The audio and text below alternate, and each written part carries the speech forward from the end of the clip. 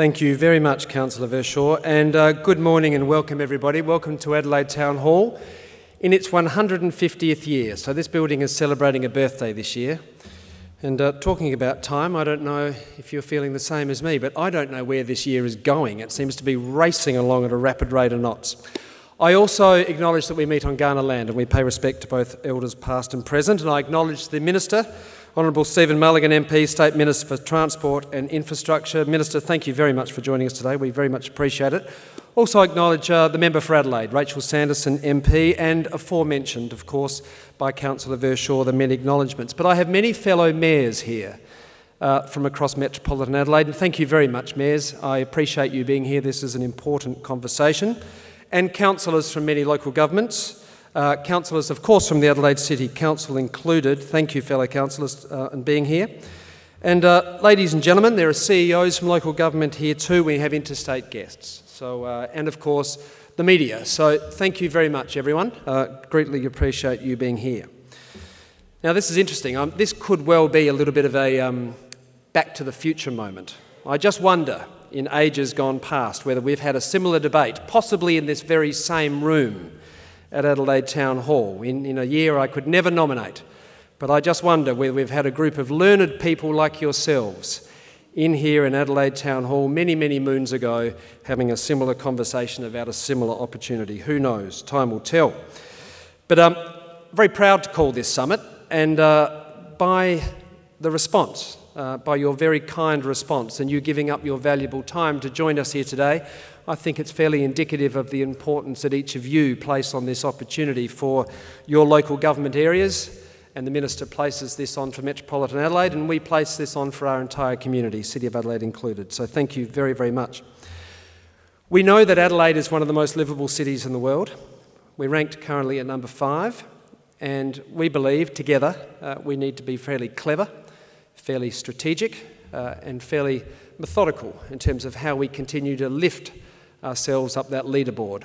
And indeed, Adelaide City Council by 2020 has a goal to become the third most livable city in the world.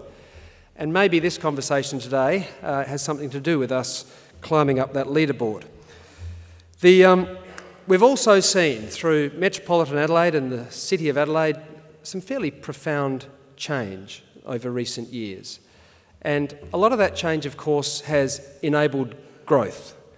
And growth is important for all of us. We've got a transforming economy, we've got a transforming city, we've got a great deal of infrastructure investment into the City of Adelaide, and we've got more people living in the City of Adelaide. In fact, we have more people living in the City of Adelaide every year than what we've had for decades. So, the timeliness of this discussion, and of course, that is paralleled in many suburbs uh, throughout metropolitan Adelaide.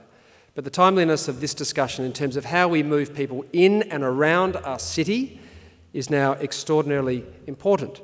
And none more important, of course, ladies and gentlemen, than within a federal government election year. So thank you for our federal representatives for joining us here today. We greatly appreciate your presence also.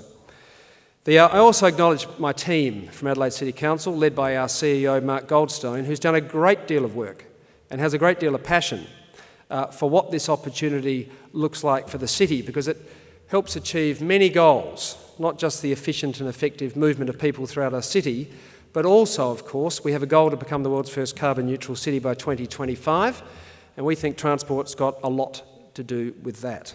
So, a lot of food for thought today. Today is about learning. It's about learning from cities that have done this. It's about learning from case studies in terms of the social, economic, and transport benefits and environmental benefits of those cities that have adopted models like the one we're potentially contemplating and looking at what the benefits are for our residents, uh, for businesses, for tourists, uh, for investment attraction, for property, for a wide range and that's what we're here to do today, ladies and gentlemen, is just to begin to articulate those benefits. And this is the first time, I understand, that we have done that together, in one place, in one room. Unless, of course, we did do it uh, 80 years ago, or whatever that may have been when we were first contemplating the opportunity for Adelaide. So, thank you very much. It's also about building um, first class infrastructure for the long term about building infrastructure which serves our city today, tomorrow, 10 years' time, and in 30 years' time, uh, so that we can achieve our goals together, which is important. So today we'd like to see tangible momentum. We would like to see, at least at the end of today, uh, fellow mayors, some consensus about what your thoughts are with regards to light rail through your cities, whether you think it's a good idea, uh, what the benefits may look like for your cities, what it might look like for your main streets, what it might look like for your vacancy rates, what it might look like for the, the, the, the value of your house prices, prices. I don't know. We're here to learn. So there may be many benefits that we might be able to share today. So we know that we've got a Prime Minister, Malcolm Turnbull, has an interest in the effectiveness of public transport. And uh, let's hope that discussions like this can open the door towards some federal assistance. We also know that Anthony Albanese, the federal shadow transport and infrastructure minister, only very recently stepped up and said that should the opposition be elected, they would have a good square look at uh, delivering the project to extend the tram network throughout metropolitan Adelaide. So we welcome both sides of the political divide because we think this has got bipartisan benefit for all of our communities. So we encourage everyone to look at this with great seriousness. It is a wonderful opportunity for everybody. We also know there was the Infrastructure Australia report earlier this year, which highlighted this as a priority project for the City of Adelaide and for other cities. And in 2015, I had the great honour of chairing the Council of the Capital City of Lord Mayors, where I discussed this subject with every Lord Mayor in the nation, and they all rank it with very high priority. Melbourne, of course, knows the benefits intimately. So I've had many discussions with Lord Mayor Robert Doyle from the City of Melbourne. So we're here to learn from those who have got first hand experience. I encourage everyone to approach this with a very open mind because the benefits might look different for each of you, and that is fine, whether they are economic, whether they are social, whether they are transport, and whether they're environmental. Let's look at this with a very, very open mind. It could be a great opportunity to uh, enable uh, Adelaide and metropolitan Adelaide to grow, which is really, I think, the overarching goal, is uh, growth, inclusion and prosperity for all of us.